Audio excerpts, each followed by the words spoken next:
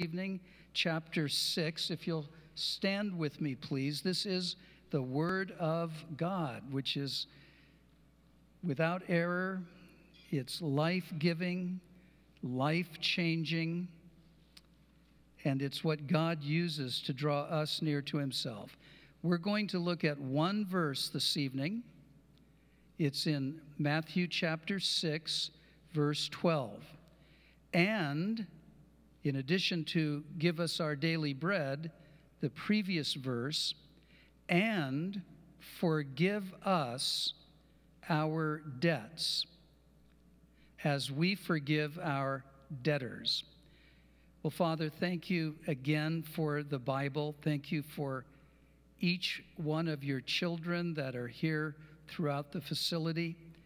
And we ask, Lord, that you would just feed us uh, from your word now tonight. In Jesus' name we pray. Amen. Well, please be seated. You know, God is, of course, not only concerned, but He's also aware of all of our needs before we pray to Him. In Matthew chapter 6, verse 8, Jesus said, For your Father knows the things you have need of before you ask Him. Why then should we pray? If our Father knows what we need, why should we pray? Well, here's a couple of answers. Because prayer is the God appointed way to meet those needs. Secondly, prayer for our needs to be met prepares us for the proper use of the answer. For example, if we know our need, and we voice it to God, trusting Him and His provisions, then we will make better use of the answer than if God had forced the answer upon us. We will know it came from Him. Now, in the Lord's Prayer, what Jesus revealed was God's program, which is Our Father who art in heaven, hallowed be thy name, thy kingdom come Thy will be done on earth as it is in heaven.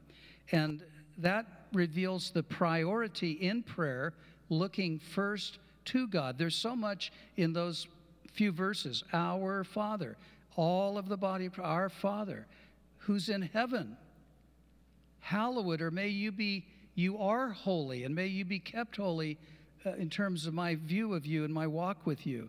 Your kingdom, your rule come and may your will be done on earth right here as it is in heaven. And I was thinking as we were singing here, you know, singing to the Lord is like praying to Him. And uh, the Bible says to sing and make a loud noise unto the Lord. And uh, it's a real opportunity to engage in communion with God. Lord, you're a good, good Father. You love me. Thank you. It's, it's a wonderful way to praise the Lord. But as we get in now to our give us this day our daily bread and forgive us of our debts, we're getting into the very heart of this Lord's Prayer. The next thing we'll look at is the request for guidance and then the request for protection. With respect to forgiveness, the Christian lives through forgiveness. This is what justification by faith is all about. And we're going to look at that in depth later on. You and I could have no life or hope with God had not God's Son, Jesus Christ, come to bear the penalty of sins so we could go free. We would have no hope. We would have no life with God unless Christ had come. We're free now. But as Christians, we still fall short. We still sin. And forgiveness is needed every day. So, Jesus, in this part of his model prayer, included a petition whereby God's children ask for forgiveness. It's right between the petition for material provision and the petition for spiritual protection. This is the one and only prayer that Jesus never had to pray Father, forgive me of my debts, because he never sinned. He was never in debt to God. So this evening, where we're headed is we're going to look at God forgives our debts, God's family forgiveness, God's lesson for us all, and lastly, only the forgiving are forgiven. And I've entitled this message very simply, Forgive Us Our Debts. So, to begin with, then, God forgives our debts. Why, how should Christians view their sins? Good question. Probably, I don't think I've ever been asked that. How should you view your sins? Well, the scripture presents our sins in many ways. Let me give you a pretty lengthy list fairly quickly. Sin is a horrible force that deceives and destroys. God compares sin to defilement or to destruction and ruin. What dirt is to the body, sin is to the soul. Sin is also pictured as darkness. Sin is a form of bondage. Sin is a burden. Sin is compared to sickness. Sin is lostness. Sin is law breaking. Sin is a deviation. Sin is a shortcoming. Sin is rebellion. Sin is pollution. And sin is missing the target. Here in the Lord's Prayer, notice what how Jesus describes our sins. Forgive us our debts. He describes sin as an unpaid debt. We owe a debt to God.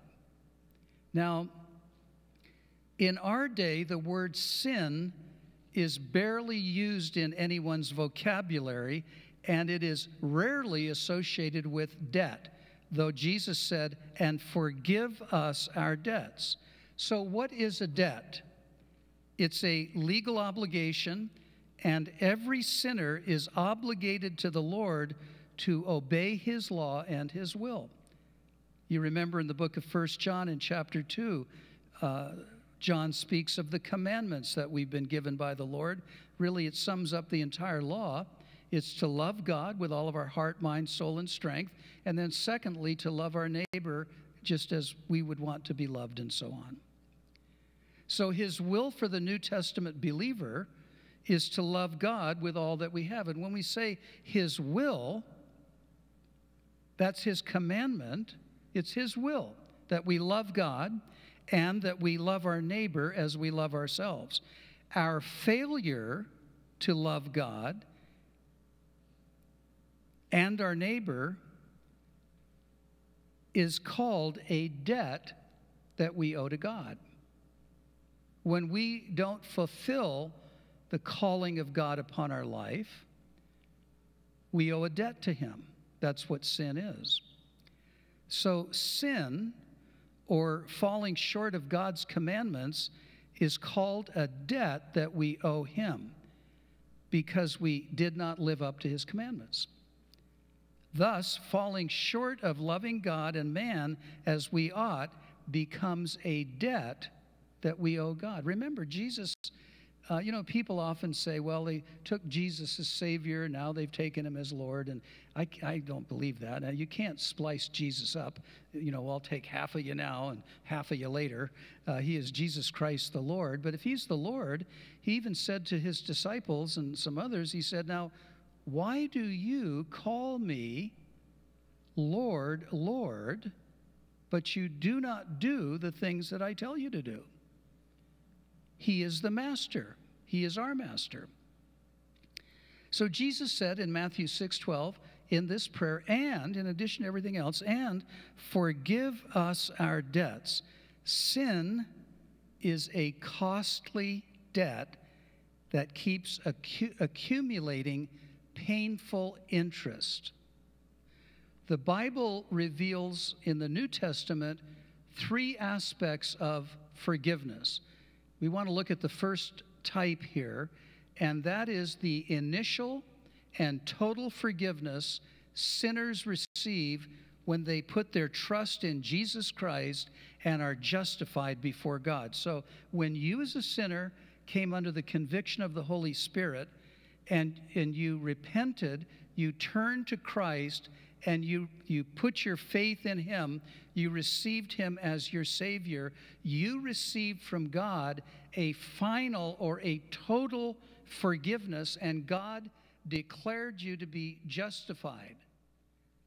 Justification means that God now views the sinner who has trusted in Christ just as if he had never sinned. Now, think about that. The person who has come to Christ and is therefore justified before God, when God looks at you, he literally sees you just as if you'd never sinned. We don't see ourselves that way.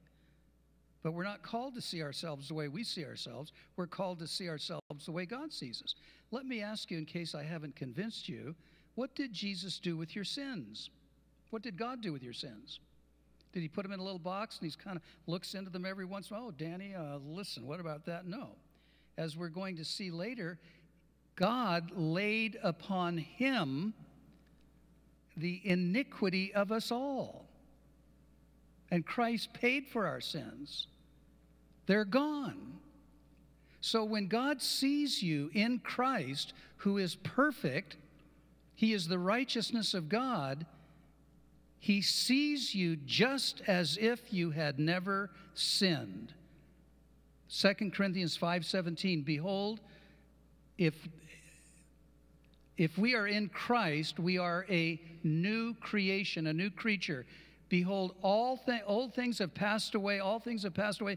Behold, all things have become new. We're a brand new creature. Look with me in Romans chapter 4 for just a minute here. Paul penned the book of Romans as you're turning there, which explains what justification is. It's the greatest, probably the greatest letter in the New Testament. It's 16 chapters. The first 11 chapters deal with this one doctrine, the doctrine of justification by faith. And you can read that 11 chapters and, and learn quite a bit. But we're just looking into a little portion of his teaching on justification, starting in Romans 4:20, speaking of Abraham who had received a promise from God.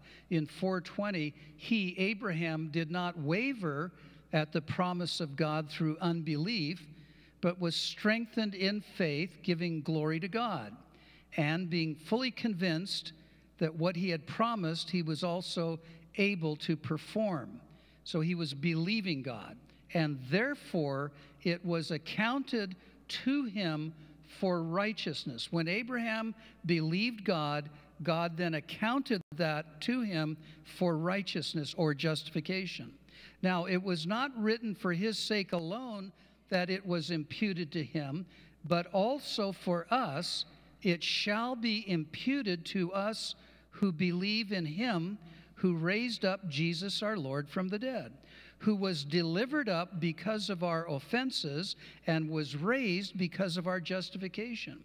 Therefore, having been justified by faith, we have peace with God through our Lord Jesus Christ, through whom also we have access by faith into this grace in which we stand and rejoice in hope of the glory of God.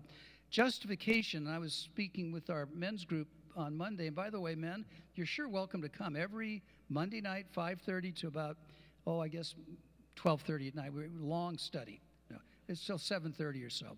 Uh, we have dinner, and what we're doing right now is going through the basic doctrines of the Bible which may sound, well, it's a basic. Well, listen, the basic doc, the, actually, I don't even think the word basic applies. It's the doctrines of the Bible, the teachings of the Bible. And this coming Monday, we're going to look at the doctrine of eternal security. And we take our time with it. Uh, people ask questions and we try to answer them together. But with respect to the doctrine of justification, this is something, this is a word that you should, and a doctrine that you should be very familiar with because you are justified. God looks at you just as if you'd never sinned. Well, what is it? How does it work? Well, it has two components to it. First of all, your sins have been removed from you and placed on Jesus Christ, who then paid the full price for your sins.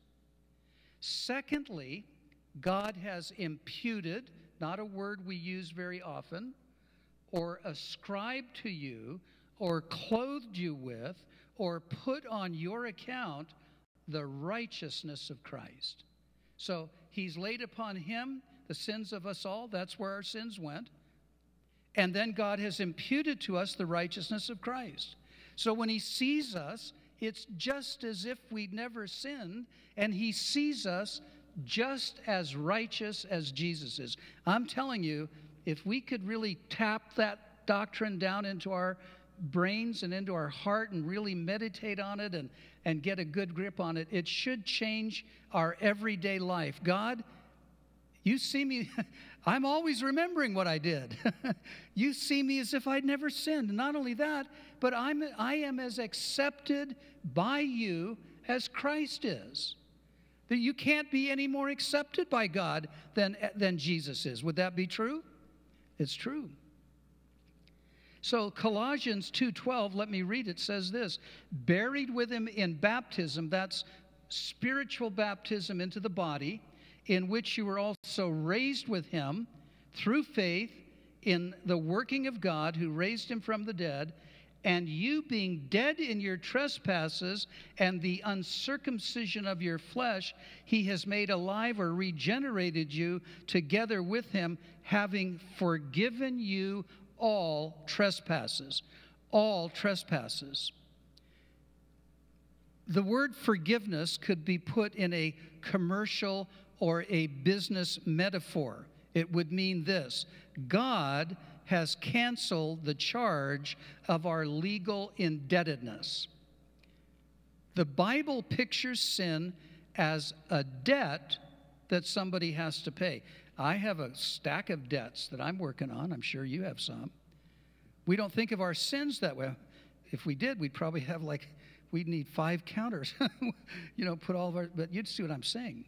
Our sins are a debt to God. And if we don't pay our bills on time, five days later, boom, boom, boom, hello. And if it's an insurance company, then when you file a claim, it's, we're sorry, we can't talk to you for 30 days. but we'll talk to you in five days if you don't pay your bill. This is why I'm running for public office to change the, in the insurance world. But the Bible pictures sin as a debt that somebody has to pay. The good news is that Jesus Christ paid the price for all debts or sins when he died on the cross and rose again. Ephesians 1 7 says, In him we have redemption, or he's purchased us through his blood, the forgiveness of sins according to the riches of his grace. Romans 8 1 says, there is therefore now no condemnation to those who are in Christ Jesus, who do not walk according to the flesh like you used to, but you're now walking according to the Spirit. You're born again. So there's no condemnation. We've been forgiven. Our debt has been paid. It's been wiped out. The verb forgiven or canceled literally means wiped out or blotted out. And it's the picture of an ancient banker writing off the amount of the debt written on the sheet of papyrus that they used. King David and the Apostle Peter used these same images of blotted out or wiped out in talking about forgiveness. For example, in Psalm 51 1, David said this Have mercy upon me, O God, according to your loving kindness, according to the multitude of your tender mercies. Blot out my transgressions. In Psalm 51, verse 9, he said, Hide your face from my sins and blot out all my iniquities. Peter, in the book of Acts, chapter 3, verse 19, said, Repent therefore and be converted, that your sins may be blotted out, so that the times of refreshing may come from the presence of the Lord. David used another picture of sin, uh, uh, of sin being wiped out. I love this. In Psalm 103, verse 12, he said this As far as the east is from the west, so far has he removed our transgressions from us. Now, think of the globe. You can measure the distance from the North Pole all the way down to the South Pole, couldn't you? But you cannot measure the distance between East and West. It's a beautiful image of our sins being taken away. In Jesus' day, the Jews, upon hearing this blotted out, taken away, would immediately think of the annual Day of Atonement where the high priest would lay his hands on the head of the scapegoat, it was called. And he would confess the sins of Israel, and then the goat was taken away into the wilderness, never to be seen again. They are gone away. The Greek word forgive means to send away. God has sent our sins away. John 129, John the Baptist, it says, the next day John saw Jesus coming toward him, and he said to his disciples, Behold, or look, the Lamb of God who takes away the sins of the world. In the Old Testament, the blood of animal sacrifices only covered the sins of the Israelites. But the sacrifice of Jesus on the cross removes the sins of the whole world. Um, 1 John chapter 2, verses 1 and 2, John says, For we have an advocate with Father, Jesus Christ the righteous, who died not only for our sins, the apostles, but he died for the sins of the whole world. Now, people can make a big mistake at this point. They'll say, well, he died for the sins of the whole world. I'm forgiven. No, no, no. He died for the sins of the whole world, but it is only made effective when a person repents and believes in him. That's why the unpardonable sin is not believing in Christ. God has forgiven you for all of your sin. Let's pretend you're all unbelievers. I'm glad you're not, but let's pretend you are. I could say to you, God has forgiven everybody's sins here, and if you will now trust in Christ, that forgiveness will come to life in you. You're going to be justified. But if there's somebody here who says, I'm not going to come to Christ, I don't believe in him, well, if God's already forgiven you of every sin, then that's the only sin that He can't forgive you of. It's the sin of unbelief. It's a wonderful thing to get through in your mind. 1 John 4 14 says, And we have seen and testify that the Father has sent the Son as Savior of the world. This is the Apostle John and the other apostles. We've seen him. And the word seen doesn't mean we saw him, you know, going to the cafe, saw him walk over there. It says we looked at him, we gazed upon him, we were with him for three and a half years. We watched him whenever he was performing miracles. We watched him as he taught us. We followed him. We looked at him. We've seen him and we testify to you that the Father has sent the Son as Savior of the world. Now, once we have trusted Jesus as our Savior, we are forgiven and we are declared what? Starts with a J. We've been talking about it. We are declared to be justified in Him. And at that moment, God the Father proclaims their sins and their lawless deeds I will remember no more. So not only are they gone, but God, who knows everything, who is omniscient. Am I going too fast? Okay. Well, then let me speed up. Okay, I'll do a speed talker. You won't get anything out of the whole message. Don't listen to speed preachers, okay? Because you go, whoo. What did he talk about? I don't know. it was good, I think. I don't know what he said, though. But God, who is omniscient, he's never learned anything, he never forgets anything, he never has to be corrected about something that he was a little off on. He knows everything. And somehow within the Godhead, their sins and their lawless deeds I will remember no more. And perhaps it's not just a, a fact that the Godhead was able to do, because nothing is impossible with God, but most likely it's because the Father realizes the Son, all of their sins were put on him. Every sin was put on him, and they've been paid for. It's an over and done with matter with God. So not only does God see you as if you had never, just as if you had never sinned, imagine. Now, in a real quick snapshot, think about all the sin you committed. Okay, that's it. Don't think any more than that. It's a lot.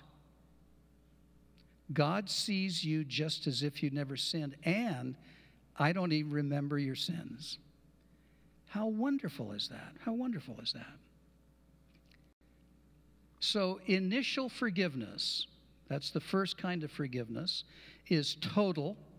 It's final in the sense that it's a you're justified once and forever. You don't become justified and a little more justified tomorrow. It's a once and over and done with. Uh, it's what God does to you. So, this initial forgiveness is total, it's final forgiveness, and it secures your eternal destiny.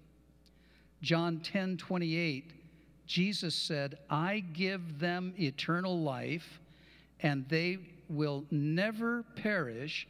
No one can snatch them away from me.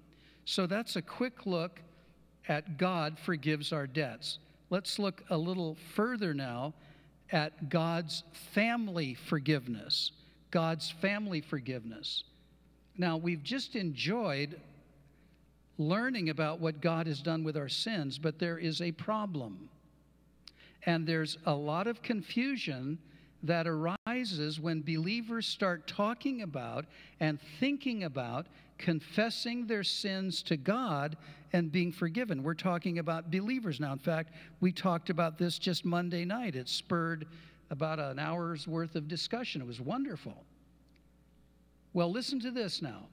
If Christ's death atoned for all sins, which past, present, and future, as it did, and if God's verdict justifying the believer, believing sinner, which means I accept you as righteous for Jesus' sake, and it is eternally valid as it is, why should the Christian mention his daily sins to God at all? It's a very good question.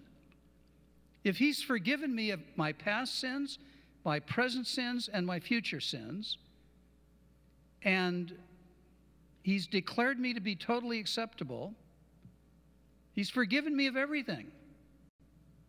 Why should I confess sins to Him on a daily or whatever basis? Well, I believe the answer to the problem is this it lies in distinguishing between God as your judge and God as your father. Remember, we're talking about God's family forgiveness. Bet- distinguishing God as God as your judge or God as your father. And it's a distinction between, it includes being a justified sinner and an adopted son. You are justified by God, you also have been adopted as his child. Ephesians 1, about verse um, 5 says that. He adopted us as his own children, and it's and I love this. He says, because it is what he wanted to do. Imagine that. You know, when people go to an adoption agency, they want to adopt this child or that child. And they can, you know, they want it, they want to do that. Well, God wanted to adopt you. So we're justified, but we're also adopted children. So, what does all that mean? Well, God, as judge, declares a repenting, believing sinner to be justified, but God, as Father, looks upon the same person as an adopted son. It's now we're, it's moving along here. This second type of forgiveness is called family forgiveness. We're in God's family, we're His children. And we're talking about the problem if God has forgiven all of my sins, why should I be confessing them? Well, the Lord's Prayer in its entirety is a family prayer. This was for the people who were following Christ, in which God's children address him as what? Our Father who art in heaven. And though we have daily failures, sins, these failures, these sins, these debts, they do not cancel out or annul our justification. That justification is a once for all declaration. There's nothing you can do. God's going to say, you, you, You've just done too much. That would never happen. He has forgiven you, He's declared you to be righteous. Romans chapter 8 says, He's who. Um, who is he that condemns? It is God that justifies. God is the judge of all the earth. He's the Supreme Court judge, if you will. It's the final word. Once the Supreme Court rules, it's over. What they rule on is done. When God has declared you righteous and justified, it's a fact, but you're also his child. And we do sin, don't we? The Bible says in 1 John chapter 1, if any man says he has no sin, he is a, starts with an L, ends with an R, a liar. We do uh, spelling classes here for those of you that are new. it's a way to help us think a little bit. If anyone says he has no sin, he's a liar, and the truth is not in him. So our sinning doesn't cancel out our justification, that's all. Justification is something that God declares to be true about the person who repents and believes, and it never changes. God will forever see that repenting, believing sinner just as if he never sinned. When the adopted child of God sins, what happens? It breaks or disturbs their fellowship with God. Now, let's take an example of parents and children. If a child is misbehaving, and is rebelling and is refusing to do what he or she ought to do, it's not a happy time, is it? And generally, what happens is the child is sent to his or her room. And things will not be right between the parents and the child until the child comes out and says, I'm what? I'm sorry. Well, things will not be right between us and our Father till we have said, I'm sorry, and ask Him to forgive the ways in which we have let Him down by sinning. Remember, holy, holy, holy is our God. 1 John 1 8, if we claim we have no sin, we are only fooling ourselves and not living in the truth. But if we confess our sins to him, he is faithful and just to forgive or send away, forgive us our sins, and to cleanse us from all wickedness. So the point is this when the justified, adopted child of God sins and confesses their sins, they are like the returning prodigal coming home to their father sins are so forgiven, it's as if they were never committed. So, God forgives us, God's family forgiveness, and going a little further, we have God's important lesson for us. And it's this Christians must be willing to examine themselves the discipline of self examination is distasteful to our pride, but it is necessary. Self examination is necessary because our Holy Father in heaven will not turn a blind eye to his children's failings as some human parents often do, and so unwisely. 1 Corinthians 11:28 says this in the teaching on the Lord's Supper, but let a man examine himself, and so let him eat of the bread and drink of the cup. The word examine means to test, to approve, to allow, to discern, to prove, or to try. In other words, if we're going to be confessing our sins, we, we need to be uh, examining ourselves. So, what God knows about our sins, we need to know also, so that we can repent and ask forgiveness for whatever sin has taken place. God has a big eraser. That's the lesson. That's the lesson that God has for us. Last thing we want to look at is this only the forgiving are forgiven. Only the forgiving are forgiven. Those who hope for God's forgiveness, said Jesus, must be able to tell him that they too have forgiven their debtors. Forgive us our debts as we forgive our debtors. Look with me, please, in Matthew chapter 6, verse 14 and 15.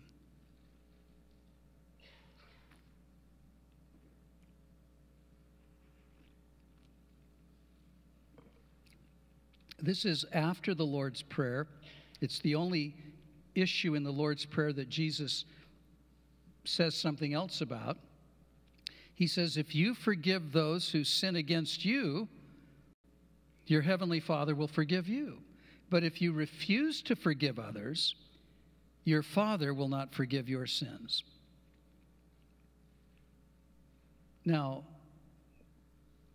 only the forgiving are forgiven this is not a matter of earning forgiveness, as we're going to see. Forgiving others is the third kind of forgiveness. There's the final forgiveness at justification, there's the family forgiveness as an adopted child of God, and then there's this third kind of forgiveness it's the forgiving of other people. Those who live by God's forgiveness have the joy the responsibility and the blessing of imitating God's forgiveness. The believer whose only hope is that God will not hold his failures against him gives up his right to hold others' failures against them. Well, God, I know you forgive me, but I don't forgive him. You know what he's done? Matthew 7:12 says this, "So in everything do to others what you would have them do to you." For this sums up the law and the prophets. It sums up the entire Old Testament. Matthew 18:35, "That's what my heavenly Father will do to you if you refuse to forgive your brothers and sisters from your hearts." Now remember, our Father forgives us our sins. We are His children. We're being conformed into the image of Christ. We have His nature within us. Children act like their parents, they have their parents' DNA in them. Sometimes I feel so stupid when I'm talking to somebody and I look at their kids or even if they're little or old and say, Man, he really looks like you. Well, duh. That's, yeah, that's your child. Well, he even has the same inflection in his voice. Duh. He even walks like you. Well, that's because he's your child. Well, God is a forgiving God. We are his children. He expects us to be forgiving of other people. Jesus, on three occasions, dealt forcefully with the sin of an unforgiving spirit. I wish we had the time to go to Luke chapter 7, verse 36 through 50, but let me just tell you quickly.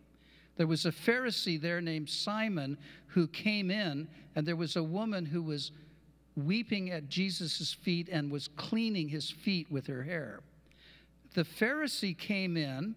He saw no sin in himself, but he was quick to see a great deal of sin in the woman who was weeping at the feet of Jesus. It's important to understand that forgiving others is not the reason God forgives us, nor is it a device we use to earn his forgiveness. Forgiveness by God is a matter of grace and mercy, not law and works. There is no reason for God to forgive us except for his great love. That's why he forgives us. I don't forgive others to if I don't forgive others, I make myself a judge like Simon the Pharisee in Luke 7. The woman, I think, had been a prostitute. And he came in and he couldn't believe what's going on here with this woman. He saw the sin in her, but he wasn't there willing to forgive her. So if I don't forgive other people and I see them and I don't forgive them, I'm making myself a judge like Simon did in Luke 7. God forgives us for the sake of his Son, and we must forgive others for the same reason, for Jesus' sake. Ephesians 4:32 says this, "Instead, be kind to each other, tender-hearted, forgiving one another, just as God through Christ has forgiven you." Now, we've all heard this little statement, forgive and forget, haven't we? Forgive and forget. Charles Spurgeon said, Forgive and forget. And he said, when you, when you bury a mad dog, don't leave his tail above the ground. Forgive and forget. Some closing thoughts. If we don't forgive, that unforgiving spirit may lead us into further sin.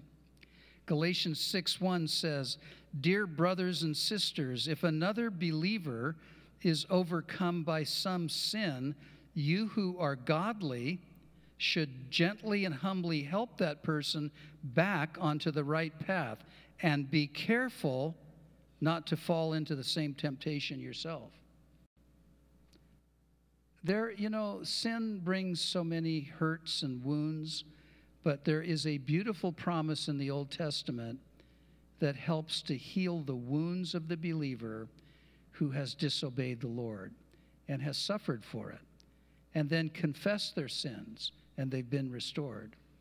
It's in the book of Joel, chapter 2, verse 25. Let me read it. God says, I will repay for the years the locusts have eaten. Now, in Joel's day, the land had suffered a devastating invasion of locusts, excuse me.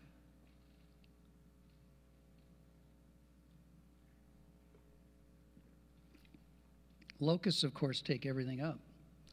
The locusts were ju- God's judgment on the sinning people. Then God sent the prophet Joel, and he pleaded with the people to repent and to return to him, promising that God would forgive them and even compensate them for what they had lost. God can cleanse and God can restore. I will repay for the years the locusts have eaten. So often, people who have sinned, they allow that past sin to define their life in the present. I'm that guy who did that. I'm that girl who did, I'm not that girl, but you know, I'm that girl who did that. That's true. But God can cleanse you. And if you've repented, you've been restored to God. And He's cleansed you. And he says, I will repay you. You caused the trouble. That's why the locusts came. That's why all of the trouble came into your life. But I'm going to repay you for the years that the locusts have eaten. On Sunday evening, May 30th, 1886, Pastor Charles Haddon Spurgeon, from that very text, Joel 225, I will repay for the years the locusts have eaten. He said to his congregation at the Metropolitan Tabernacle in London, England, quote, Lost years can never be restored literally. Time once past is gone forever. You cannot have back your time. But there is a strange and beautiful way in which God can give back to you the wasted blessings, the unripened fruit over which you mourned. The fruits of wasted years may be yours. The fruits of wasted years may yet be yours. And he closed by saying, All things are possible to him that believeth. That is our God, who is a forgiving God. Forgive us our debts as we forgive those who are debt who who are our debtors, those who've sinned against us. Father, thank you so much for the Bible. Thank you for the Lord's the Sermon on the Mount, Lord Jesus. You actually preached this whole sermon. These very words in Aramaic came out of your lips, and it would have been Abba, forgive our debts as we forgive our debtors. And so here we are now, Lord, thousands of years later, learning how to pray. Jesus, you said, pray in this manner Our Father who is in heaven, hallowed be your name. Your kingdom come, your will be done on earth as it is in heaven. Give us this day our daily bread. Forgive us our debts as we forgive our debtors. Father, thank you for teaching us how to pray. We love you for it. In Jesus' name, amen.